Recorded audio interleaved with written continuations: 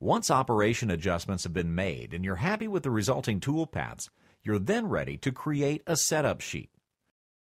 All you have to do is right-click on the NC Manager and select Setup Sheet, Generate. Or alternatively, you can right-click on the part Setup and select Generate Setup Sheets. You can generate two different types of setup sheets in CamWorks. Either a Microsoft Access file or an XML file. I almost always prefer using the XML type. If you'd prefer a different format for your setup sheet, you can browse to the location under the Style Sheet Path option. Or you can simply use a default setup sheet that is created when you complete the post process by selecting one from this drop-down menu.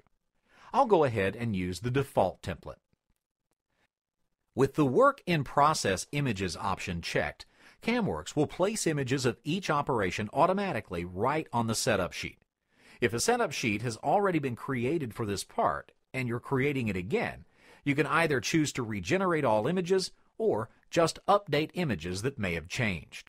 When I click OK, the setup sheet is created